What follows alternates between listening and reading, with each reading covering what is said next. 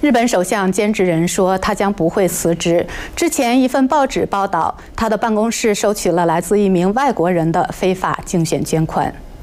星期五的《朝日新闻》说。菅直人在2006年到2009年期间，从一位住在日本的韩国人那里收取了超过一万两千美元的政治现金，这违反了竞选经费法。菅直人星期五告诉国会的一个委员会说，他以为捐款人是日本国民，因为那个人有个日本姓名。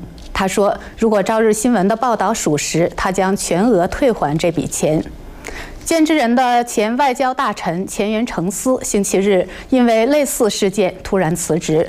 有好几万的韩裔人生活在日本，他们拥有日本姓名，但没有日本国籍。